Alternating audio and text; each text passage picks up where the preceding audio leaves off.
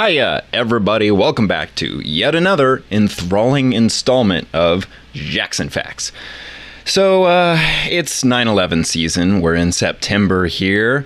Happy belated 9 11. Hope your 9 11 celebrations went smooth. It's amazing that it's been almost 20 years since 9 11 happened. I was just in middle school when that occurred, and I had no idea. I could not fathom what was actually going on, whether it was the talking points of terrorist attacks or the consequences of rushing into the Iraq war. I had no idea as a kid what was going on. I didn't get into politics until uh, much later in my life around 16 to 18, I slowly started dipping my toe in politics and always kind of felt like from the get go that it was a facade, a total circus, just a game show to keep us distracted and keep us running in circles, which I'm coming to find as I get much older that that is totally 100% true. And we've talked about here before on the show how reviewing the physics of the 9 11 event, you talk to architects and engineers, demolition experts. We're realizing now that 9 11, the collapse of the Twin Towers, and the plane crash into the Pentagon, the other buildings near the Twin Towers that went down, these were all actually planned demolitions. If you're not aware of this yet, be sure to check out my video or the hundreds of other videos and documentaries that are out there. It seems like it's just people in America that are still completely unaware of the fact that 9 11 was indeed a planned demolition. Like it's not suspicious enough that 15 of the 19 hijackers on the planes were Saudi Arabian, our allies. Yet we went to war in Iraq. That's a huge red flag right there. But regardless of all that, we have some updates here, some details on the World Trade Center Building 7, how it didn't fall down the way the government agencies are telling us. Now, this is coming in from Ben Swann, very reliable information usually coming in from Ben Swann. Love his little segment, Reality Check. Let's let him do the talking here. He's much more eloquent and good looking than I, so let's let's let him do the explaining here. It has been 18 years since the terror attacks of 9/11. On that day, two towers fell in New York City, right? Well, actually, that's wrong. Three towers fell. The North and South Towers of the World Trade Center, also known as the Twin Towers, and a third building, World Trade Center Building 7. In fact, here is video of Building 7 as it came crashing down that day. Six years ago, I went to New York to report on a campaign to raise awareness about Building 7. More to the point, to raise awareness that over 3,000 engineers say that building could not have fallen down the way that our government says it did. Well, now today we're going to release to you the results of a $300,000 study conducted by scientists at the University of Alaska.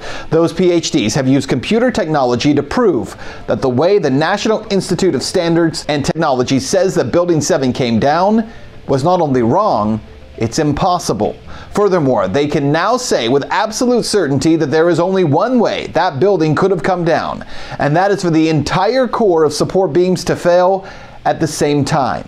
So how can that happen? I'll show you in this reality check that you won't get anywhere else. So, it was six years ago that I traveled to New York City just before 9 11 to report on claims that were being made by the group Architects and Engineers for 9 11 Truth.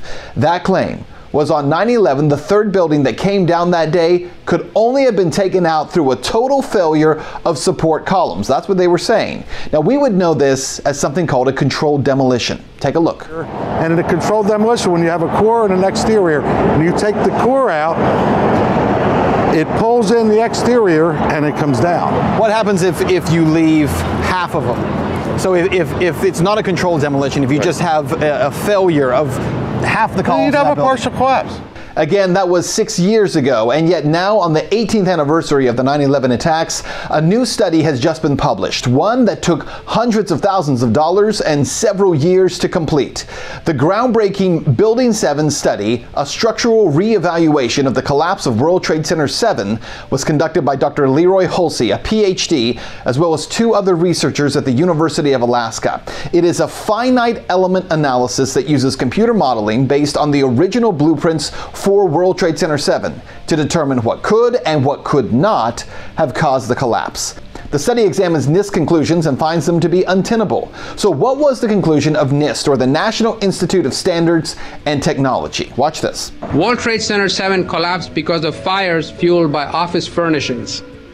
It did not collapse from explosives or from fuel oil fires. We really have a new kind of progressive collapse that we have discovered here, which is a fire induced progressive collapse. So, to be clear, despite there being small and isolated fires on just a few floors, the 47 story Building 7 came down symmetrically into its own footprint in just under 7 seconds at 5:20 p.m. on 9/11. The official investigation into the collapse was conducted by NIST. It's an agency under the U.S. Department of Commerce, which concluded that, again, normal office fires were responsible for the failure of the structure, saying that falling debris from World Trade Center's North Tower flew and crashed into Building 7 and then ignited small office and furniture fires throughout several floors of the building and that those fires burned for so long and so hot they caused thermal expansion and pushed beams off their girders, which led to the collapse of the building. But now, this extensive study by the University of Alaska Fairbanks has proven that the NIST conclusion is actually wrong. Created a solid model in Abaqus uh, of the structural members in the northeast corner of the 13th floor of WTC 7. And a element analysis was then performed to replicate the results claimed in the NIST WTC7 report that girder A2001 was pushed or rocked off its seats at columns 44 and 79 to initiate the collapse of the building. And it's not possible for it to move the girder web beyond the seat claimed by NIST. And they're saying it got shoved off and it, and fell down. The fact of the matter is they didn't have the side plates on it. They weren't there in their model. So they wouldn't have found that. The executive summary of the UAF study finds that, quote, fires could not have caused weakening or displacement of structural members capable of initiating any of the hypothetical local failures alleged to have triggered the total collapse of the building. Nor could any local failures, even if they had occurred, have triggered a sequence of failures that would have resulted in the observed total collapse. Well, this leads Dr. Hulsey and his colleagues to this quote, It is our conclusion based upon these findings that the collapse of World Trade Center 7 was a global failure involving the near simultaneous failure of all columns in the building and not a progressive collapse involving the sequential failure of columns throughout the building. Well, that failure of columns would mean that nearly all of the columns in the base of the building would have to have been taken out simultaneously. Remember, this is a building that on 9 11 was never, never hit by a plane. It simply collapsed. What's more, Dr. Hulsey's conclusion does match a theory that has long been promoted by so called 9 11 truthers that explosives were actually used to bring down Building 7. So, what you need to know is that in the history of fully completed and standing skyscrapers, there has never been a high rise building that has collapsed from fire. It had never happened until NIST claimed that it happened at World Trade Center 7. What you need to know is that it took Dr. Hulsey and his team more than four years to publish this study, which again used finite element computer simulations and high tech computer modeling. And what they found was that despite the claims made by NIST, fire could not have brought down World Trade Center 7. The only reason NIST came to that conclusion was because they used wrong information to create their hypothesis. Now, here we're going to show you a videotape of the collapse itself. Describe that. Now we go to videotape the collapse of this building. And what you need to know is that the models that Dr. Hulsey used demonstrate that there is only one way the World Trade Center 7 could have fallen the way it did. The only way is the failure of every column at nearly the same time. In time to see uh, what looked like uh, a skyscraper implosion. It looked like it had been done by a demolition crew. It was almost as if it were a planned implosion. That's a reality check. Let's talk about it on social media if we still can.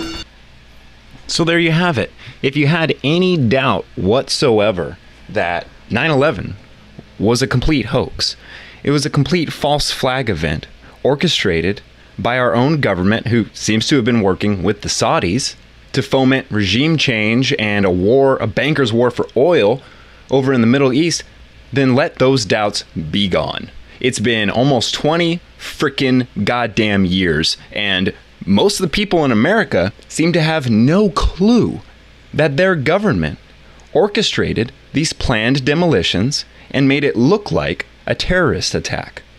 I mean, it was a terrorist attack, but the terrorists are our wealthy elite here in the United States. It's our own government that's attacking us. You should be really, really upset about this. When you mourn the 9 11 event, be sure to share with your friends and family. Don't forget the root cause of this event that it was a planned demolition orchestrated by our government, who then lied to us and continues to lie to us about what actually happened that day. Now, again, there's plenty of documentaries out there. Jason Bermas has done great research. Uh, ben Swann went more in depth on this topic in a recent episode of Tinfoil Hat with Sam Tripoli. That was outstanding, but the evidence is overwhelming. And it's time we wake up. It's time we stop acting like our government is too benevolent and kind hearted and altruistic to have orchestrated such a god awful false flag event. Because they did. They did, and we have the facts, the science, the hard data. Laws of physics tell us this was a planned demolition. We need to accept that. All right, guys, that's it for this video. Just a little reminder in order to truly honor the victims of the 9 11 catastrophe, we need to tell the truth about what happened so justice can be served. I thought this was a really clear and concise video. Just wanted to show that to you guys. Let me know what you think in the comments below, as always, and we will see you next time. Remember, the truth is just a click away. Later.